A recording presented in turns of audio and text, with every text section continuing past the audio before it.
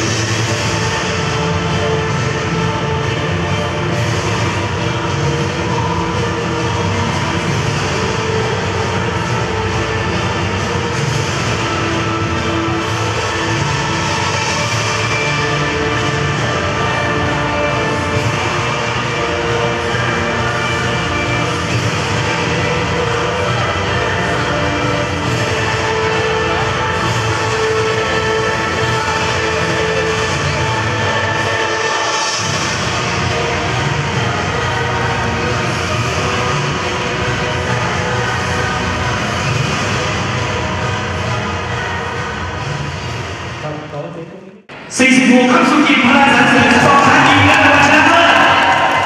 หมายเลข51วิชัยสิงห์ทองอาแลกไทยแลนด์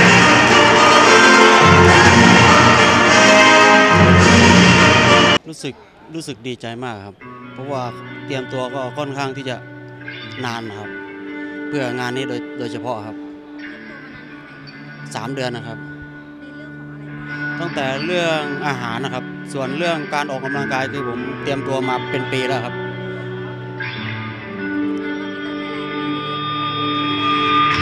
ผมแข่งอยู่ปีที่เจ็ดที่แปดแล้วครับ แต่ว่าที่ได้เหรียญทองก็จะอยู่ประมาณปีที่สี่ปีที่ห้าเท่าที่จำได้ใช่ตั้งแต่รุ่น70แล้วก็ปีนี้เป็นรุ่น 75 ที่ได้เหรียญทอง เพราะปีก่อนผมได้เหรียญเงิน ใช่ครับขยับรุ่นขึ้นมา เพราะว่าน้ำหนักตัวก็ค่อนข้างที่จะเพิ่มขึ้นทุกปีทุกปี ถ้าลง 70 มันก็ค่อนข้างที่จะเหนื่อยกว่าเดิมอีก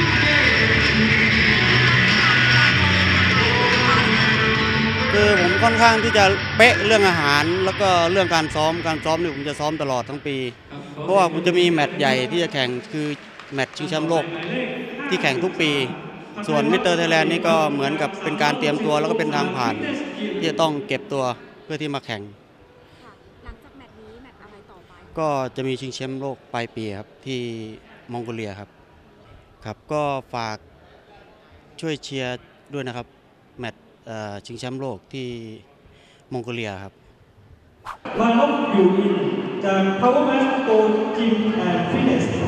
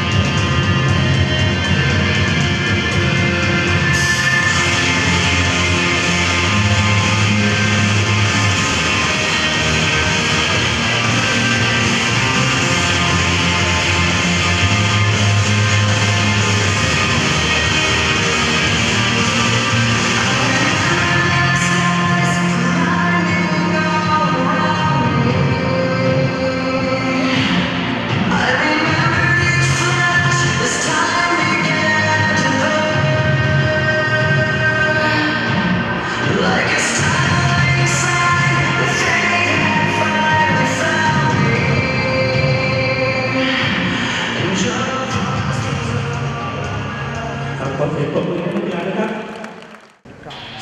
36ครับสุวิทย์จีสิงห์อัลตโฟและรองชนะเลิศอันดับที่หนึ่งหมายเลข29วานกอยู่อินของแท็กโตมีตำแหน่งที่เจ็ดครับ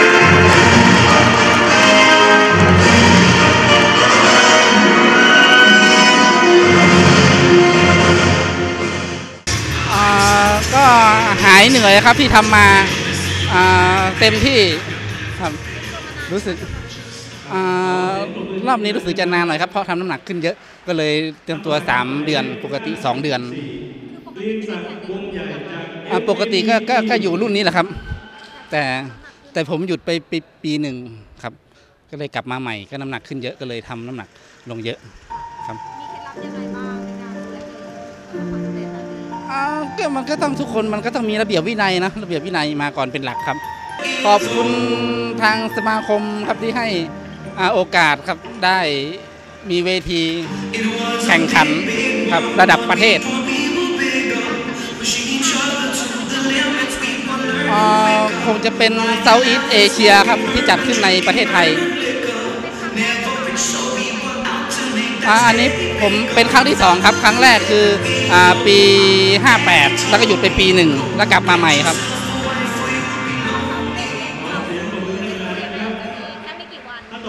เดี๋ยวก็ต้องมีการคุมครับคุมเรื่องอาหาร คุมเรื่องระดับการกินครับ ไม่ให้ร่างกายมันเปลี่ยนไปเยอะครับเราตั้งเป้าไว้ยังไงอ่าตั้งเป้าก็คือผมก็คงจะทำให้ดีที่สุดนะครับอ่าเป้าหมายก็เดี๋ยวทำให้ดีที่สุดก็มันจะออกมายังไงก็ เป็นไปตามนั้นนะครับอ่าก็ผมก็ขอแรงใจนะครับเนาะขอแรงใจครับช่วยเชียร์คนไทยทุกคนรวมถึงผมด้วยครับ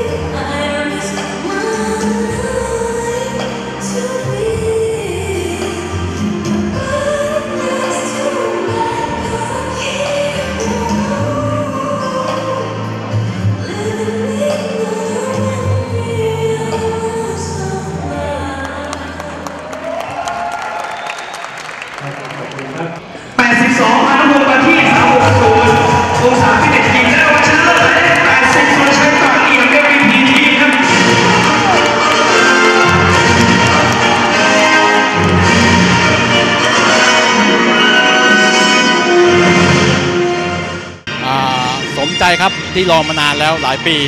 กับตำแหน่งแชมเปี้ยนที่1ประเทศไทยแลนด์ซึ่งผมอะแข่งมาทั้งหมด 4-5 ครั้งแล้วผมไม่เคยได้ ปีนี้เป็นปีที่สะใจที่สุดครับ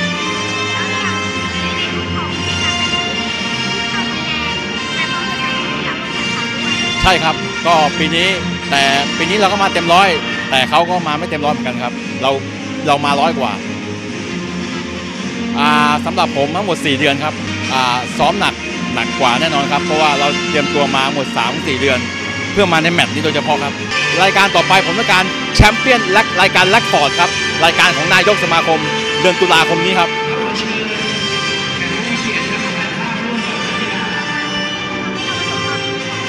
อขอขอบคุณอาหารเสริม MVP ที่ไม่ทอดทิ้งผมในยามที่ผมตกต่ำแล้วก็แฟนๆทั้งหลายที่คอยติดตามผมตลอดเวลา ถึงแม้ผมจะไม่เคยได้แชมป์ แต่คุณก็ยังอยู่กับผม แล้วผมก็ยังอยู่กับคุณครับ พูดถึงเวทีที่ไทยแลนด์หน่อยเพราะว่าเวทีนี้ถือว่าเป็นการเฟ้นหาดาวรุ่งรวมไปถึงทีมชาติที่แสดงความยินดีกับนักกีฬาด้วยนะคะผมอยากให้น้องๆมาลองสัมผัสดู ว่าเวทีใหญ่ระดับเนี้ยมันเป็นยังไง ไม่จำเป็นต้องเป็นแชมป์หรอกให้ครั้งหนึ่งในชีวิตมา แล้วน้องจะรู้ว่าความฝันน้องอยู่ที่ไหนครับ รุ่นทั่วไป ขอเชิญนักกีฬาขึ้นบนเวทีครับแข่งนี้คือแชมป์เอาแต่แชมป์ต่อใช่ไหมคะ ใช่ครับในวันเสาร์นี้อ่าตั้งเป้าไว้จะทำให้ดีที่สุดครับ มันมันตื้นตันใจไปหมดอะคือจริงๆงานงานอันเนี้ยเป็นงานอดิเรกที่ทำเพื่อสุขภาพ แต่ในเมื่อวันหนึ่งมันมีสุขภาพดีก็เลยอยากจะทำชื่อเสียงให้กับโค้ชตัวเองเหมือนกัน เราก็เลยแบบพยายามช่วยกันดูแลสุขภาพ แล้วก็ทำกันให้ดีที่สุดโดยการที่เราทำให้เต็มร้อย โดยที่ไม่หวังว่าเราจะได้ลำดับที่เท่าไหร่แข่งนี้เป็นอะไรมากี่ครั้งแล้วครั้งแรกโอ้โห ครั้งแรกประสบความสำเร็จเลยเป็นตัวครั้งแรกเอ่มก็ซ้อมมาเป็นปีนะ เก็บตัวมาเป็นปีอยู่เหมือนกัน แต่ว่าด้วยการที่เราทำงานเยอะด้วย เราก็ไม่จะไม่ค่อยมีเวลาเหมือนคนอื่นเขานอนก็น้อย แต่ก็พยายามเอาอืมสุขภาพไม่ดีตอนแรก พอรู้สึกว่าพอมาเล่นการเวทเทรนนิ่งอะไรอย่างเงี้ยแล้วมันเลยรู้สึกว่าลมหายใจมันดีขึ้นอะไรมันดีขึ้น ก็เลยคิดว่าแบบเออ อันนี้เป็นกีฬาที่เราถูก